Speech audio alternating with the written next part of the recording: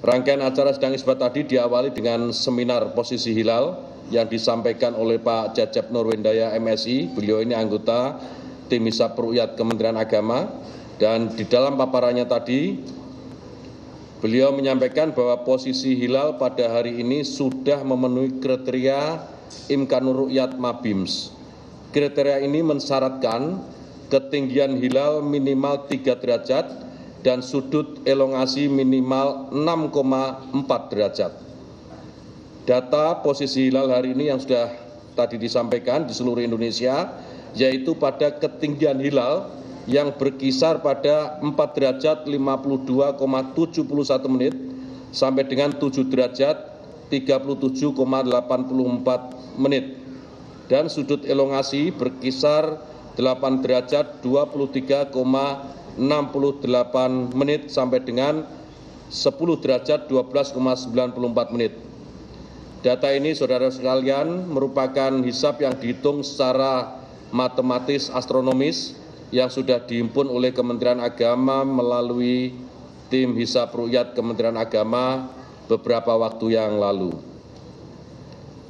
Setelah itu selanjutnya Kementerian Agama telah melaksanakan rukyatul hilal di sejumlah lokasi di seluruh waktu atau wilayah Indonesia. Perlu kita ingat bahwa pemerintah melalui Kementerian Agama selalu menggunakan dua metode penentuan awal bulan Komariah.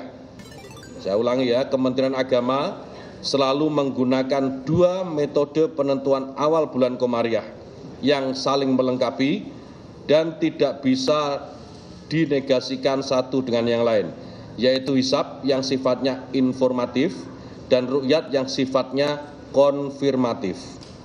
Pada hari ini, informasi hitungan hisap telah dikonfirmasi dengan laporan rukyat dari petugas-petugas Kementerian Agama di daerah yang kita tempatkan di titik-titik lokasi rukyat di berbagai penjuru wilayah Indonesia.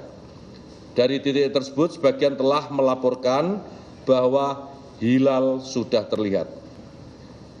Laporan-laporan Rukyatul Hilal ini kemudian telah dibawa ke dalam sidang tadi sudah dimusawarahkan juga oleh para alim ulama, tokoh-tokoh ormas Islam, pakar falak dan astronomi, serta tokoh-tokoh masyarakat lainnya.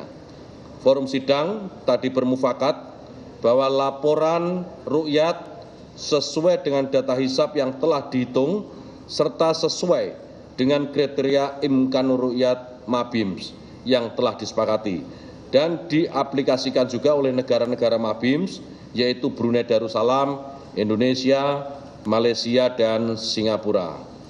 Oleh karena itu, berdasarkan hisap posisi hilal wilayah Indonesia yang sudah masuk kriteria Mabims, serta adanya laporan hilal yang terlihat, disepakati bahwa satu Sawal tahun 1445 Hijriah jatuh pada hari Rabu tanggal 10 April 2024 Masehi.